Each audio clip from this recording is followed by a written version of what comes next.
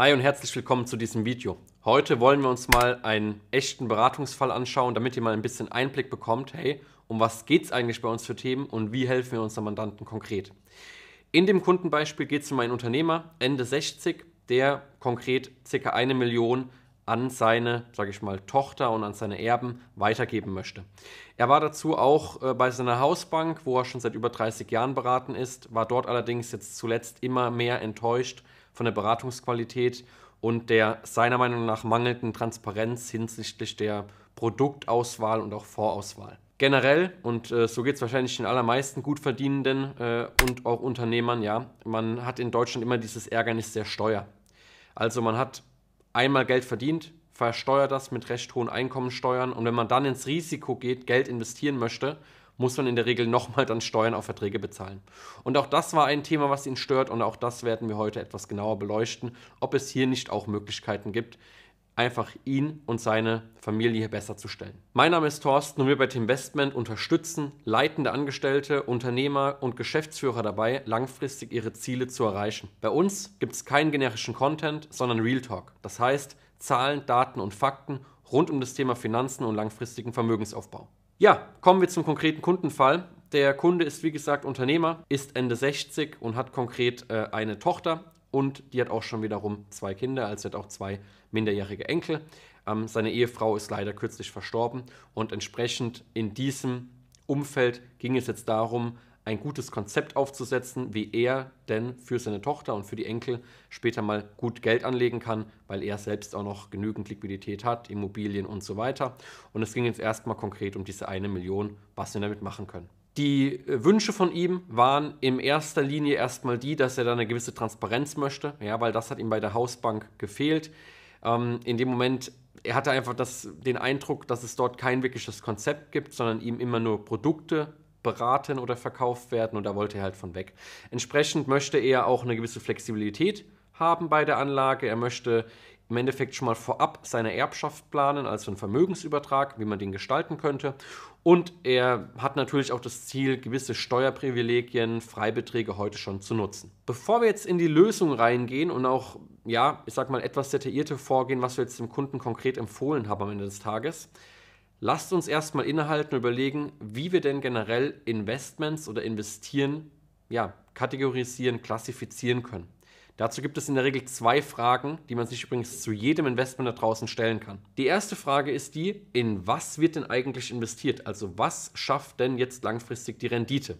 Und dieses Was ist quasi der Anlagekern, der Motor eures Investments. Wenn man sich dann für einen Anlagekern entschieden hat, also für den Motor, der langfristig die Rendite erzeugen soll, muss man sich überlegen, wie möchte ich eigentlich investieren? Und mit dem Wie meine ich jetzt ganz speziell, welchen Steuer- bzw. rechtlichen Rahmen ich für meinen Anlagekern benutze. In unserem Fall hier für den Kunden war eben das Ziel und entsprechend haben wir eben auch dann eine Lösung gesucht, eine möglichst kosteneffiziente und transparente Anlage am Kapitalmarkt sicherzustellen. Außerdem war wichtig, dass es trotzdem eine gewisse Flexibilität gibt. Das heißt, zum Beispiel Entnahmen sind weiterhin möglich und man kann das Ganze eben trotz dessen generationsübergreifend heute schon gestalten. Außerdem war auch nochmal relevant, dass die Kontrolle, solange der Kunde eben lebt, in dem Fall auch dann der Schenker an seine Tochter, eben weiterhin auch die Kontrolle über das Vermögen zu einem gewissen Grad besitzt. Und natürlich das Thema Steueroptimierung hat hier auch eine Rolle gespielt. Kommen wir nachher ein bisschen näher im Detail dazu, was man sich da für Gedanken machen kann zu dem Thema. Erstmal, wie sieht unsere Lösung aus? Es handelt sich um eine ETF-basierte Lebensversicherung. Was das genau ist und wie das aufgebaut ist, schauen wir uns jetzt gleich im Detail an. Wir haben in diesem Anlagekern ein ETF-Weltportfolio gepackt. In dem Moment nicht nur aus Aktien, sondern auch aus Anleihen. Ja, weil wir einfach die Volatilität etwas reduzieren wollten im Vergleich zu einem 100% Aktienportfolio. Um dieses ETF-Weltportfolio wird jetzt der rechtliche Rahmen eines Versicherungsmantels, speziell einer Lebensversicherung, vorgebunden bzw. ETF-basiert gelegt. Diese hat diverse steuerliche Vorteile. Wir schauen uns gleich auch ein paar Punkte dazu an. Und ermöglicht bis zum, in diesem Fall bis Endalter 100, eben einen schönen Vermögensübertrag an die nächste Generation. Wie sieht das Ganze konkret aus? Welche Vorteile hat jetzt diese ETF-basierte Lebensversicherung? Naja, einerseits können wir jederzeit das ETF-Portfolio kosten- und steuerfrei anpassen. Bedeutet zum Beispiel, wenn wir den Anleihenanteil erhöhen wollen oder wenn wir die regionale Aufteilung der Aktien-ETFs verändern wollen, müssen wir keine Steuer bezahlen. Ja, das ist ein riesengroßer Vorteil im Vergleich zum privaten Depot, weil wir reden ja hier nicht von 10.000 oder 20.000 Euro, sondern eben von einer Million. Und hier ist es sehr, sehr ärgerlich, wenn ich vorab Abgeltungssteuer bezahlen muss, nur weil ich etwas an meiner Portfolioaufstellung ändern möchte. Außerdem sind wie gesagt Teilauszahlungen möglich oder auch eine Auszahlung natürlich vor Erreichen des Endalters. Grundsätzlich gilt hier die sogenannte 1262-Regelung. Das heißt, nach einer Laufzeit in seinem Fall von über 12 Jahren gibt es auch noch weitere Steuervorteile bei der Auszahlung. Konkret, es gilt dann nicht die Abgeltungssteuer, sondern er muss die Hälfte der Erträge besteuern. Und jetzt kommen wir zum spannenden Punkt. Wir haben ja davon schon gesprochen, ähm, es handelt sich hier im Wesentlichen um Vermögen, was der Kunde im Endeffekt nicht mehr plant, für sich selber zu benutzen. Entsprechend haben wir das ganze Konstrukt so gebaut, dass es bei ihm, wenn er vorzeitig, also vorzeitig bevor er 100 wird, versterben sollte, es eine einkommensteuerfreie Todesverleistung an die Erben gibt. Und jetzt kennt jeder die Lebenserwartung, ja, der Herr ist jetzt Ende 60, er geht auch tatsächlich nicht davon aus, dass er die 100 erreicht und äh, wir werden uns nachher mal anschauen, was denn jetzt diese einkommensteuerfreie Todesverleistung eigentlich für die Erben mal in Zahlen und Daten und Fakten bedeutet. Schauen wir uns noch einmal ganz kurz jetzt die zwei Fragen zu jedem Investment an. Also erstmal, in was wird investiert? Was ist eigentlich der Anlagekern?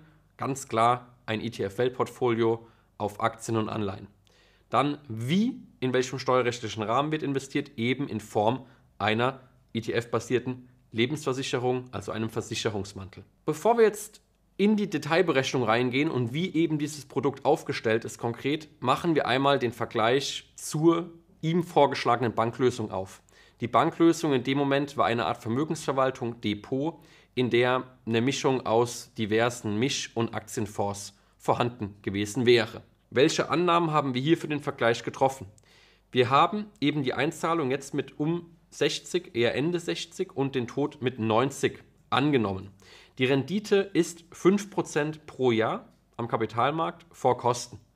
Warum nur 5%? Naja, weil wir kein 100% Aktien-ETF-Portfolio hier investieren. Die Kostenlast bei der Bank lag bei ca. 1,7% pro Jahr und in unserer Lösung bei auf jeden Fall unter einem Prozent, eher bei 0,8% pro Jahr.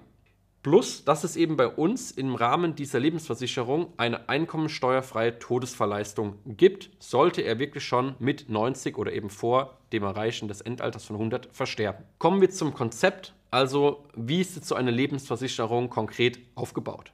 Bei einer Lebensversicherung muss man im Endeffekt zwischen drei Parteien unterscheiden. Einmal dem Versicherungsnehmer, der versicherten Person und der Person, die das Bezugsrecht später mal hat. Der Versicherungsnehmer ist zu 100 Prozent, also das heißt, der Kunde ist erstmal alleiniger Versicherungsnehmer. Der, die versicherte Person dabei ist auch der Kunde, also der Schenker, aber bezugsberechtigt im Falle seines Todes zum Beispiel wäre später mal seine Tochter. Kommen wir an der Stelle zum Vergleich zwischen der vorgeschlagenen Banklösung, also einem Depot und einer Vermögensverwaltung, hin zu unserer Lösung im Rahmen dieser Lebensversicherung. Und was haben wir jetzt dazu gemacht? Wir haben ein sogenanntes finanzmathematisches Gutachten erstellt, wo eben alle Kosten und auch alle steuerlichen Effekte mit einberechnet werden können. Zu den steuerlichen Effekten zum Beispiel gehört eine Vorabpauschale im Depot oder eben gewisse Steuerbelastungen bei Vorwechseln, die zum Beispiel auftreten können im ja, Laufe der Zeit eben. Schauen wir uns die Zahlen doch an der Stelle einmal kurz im Detail an. Wir haben einmal links eben das Bankprodukt, das Depot und rechts die ETF-basierte Lebensversicherung. Jeweils wird eine Million Euro heute investiert. Wir unterstellen eine Laufzeit bzw. einen Tod nach 30 Jahren Laufzeit von diesen Produktvarianten. Wir sehen dann die Kosten, die im Bankdepot anfallen und eben die Kosten, die bei uns anfallen. Da ist dann alles dabei, die Verwaltungskosten des Depots, der Versicherung, der ETFs oder der sonstigen Fonds. Also wirklich alles ist damit drin. Auch unser Betreuungshonorar, unser Vermittlungshonorar, alles ist wirklich in den Kosten schon enthalten. Dann sehen wir die Kosten bzw. den Ertrag nach Kosten und dann eben das Vermögen nach Steuern und natürlich auch einmal Vorsteuer. Warum das relevant ist, müssen wir uns gleich anschauen. Und eben dann die Nettorendite, die jetzt eben die nächsten Jahre innerhalb dieser Produktlösungen konkret erzielt werden kann. Jetzt haben wir vorhin schon kurz das ganze Thema einmal angeschnitten und uns angeschaut, dass wir eben in dieser Lebensversicherung eine einkommensteuerfreie Todesverleistung haben. Was bedeutet das denn jetzt aber wirklich nach Zahlen und Daten, Fakten? Naja, wir müssen jetzt in dem Moment, wo der Kunde versterben sollte und dann quasi die Tochter das Bezugsrecht hat, uns anschauen, wie viel fließt denn der Tochter zu an Vermögen. Das wäre in dem Fall vom Depot knapp 2,6 Millionen Euro und im Falle der Lebensversicherung 3,5 Millionen Euro. Jetzt ist es aber so, dass man sich auf die Erträge, die anfallende Abgeltungssteuer, ja, dass die quasi mitgegeben wird an die nächste Generation. Das heißt, natürlich, die Tochter müsste bei Auflösung des Depots oder irgendwie eine Anpassung des Depots nochmal knapp 350.000 Euro Abgeltungssteuer on top bezahlen. Bei der Lebensversicherung ist es so, das Ganze ist eine Todesverleistung und die ist in dem Moment einkommensteuerfrei. Das heißt, wir schaffen hier einen Mehrwert für die Erbin in Höhe von knapp 1,2 Millionen Euro, einfach nur deshalb, weil wir uns eben dieser Mantel der Lebensversicherung bedienen und das Ganze langfristig einmal planen an der Stelle. Hier auch mal der Hinweis, ja, das ist heute eine ganz allgemeine Betrachtung. Ja, es ist eben keine konkrete Steuer- oder Rechtsberatung. Darauf muss ich einfach hier hinweisen an der Stelle. Machen wir mal einen kleinen Exkurs. Ja, wir hatten ja gerade das Thema, dass versicherte Personen und Versicherungsnehmer ein und dieselbe Person sind. In dem konkreten Fall des Kunden kann man das Ganze noch etwas besser stellen und auch noch mal etwas optimieren. In dem Fall reden wir von einem Versicherungsnehmer-Split. Was bedeutet das? Naja, der Kunde schenkt heute schon an seine Tochter im Rahmen der gültigen Freibeträge Geld. Reduziert einfach in Zukunft bei seinem Tod die Erbschaftssteuer, die dann natürlich nicht vermeidbar ist. Wie sieht das Ganze konkret aus? Naja, wir haben eben einen Versicherungsnehmer-Split. 60% verbleiben beim Kunden, 40% gehen heute schon an die Tochter. Das ist de facto in dem Moment eine Schenkung von 400.000 Euro. Übrigens, das ist auch der aktuell gültige Freibetrag innerhalb von 10 Jahren zwischen Vater und einer Tochterbeziehung. Versicherte Person ist weiterhin der Kunde und Bezugsrecht liegt auch weiterhin bei der Tochter. Was sind jetzt konkret die Vorteile von eben diesem Versicherungsnehmer-Split? Naja, wir nutzen einmal damit, wie schon angesprochen, die Schenkungsfreibeträge aus. Die Kontrolle bleibt dennoch beim Kunden, also beim Schenker, beim Unternehmer.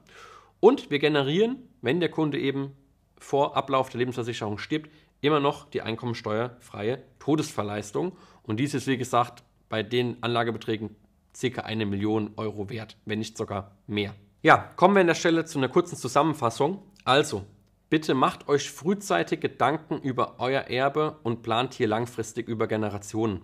Nur dann könnt ihr wirklich gut Vermögen aufbauen, die Inflation deutlich schlagen und langfristig Steuern sparen. Beachtet auch bitte immer, dass es im Depot zu einer möglichen Doppelbesteuerung kommen kann, die man definitiv vermeiden kann. Nutzt außerdem Schenkungsfreibeträge frühzeitig und regelmäßig aus. Das heißt alle 10 Jahre, in dem Beispiel hier 400.000 Euro. Prüft oder lasst für euch ganz individuell einmal prüfen, welche steuerlichen Vorteile denn solch eine Lebensversicherung generell für euch haben kann und entscheidet dann, wie ihr am besten euer Geld langfristig anlegen solltet. Ja, und damit wären wir auch schon am Ende des Videos. Ich hoffe, auch heute waren wieder einige spannende Informationen für euch dabei. An der Stelle wie immer der Hinweis, ja, gebt Vollgas im Business, in der Karriere, folgt eurer Passion, ja. Ähm, rund um Finanzen und Versicherung sind wir da.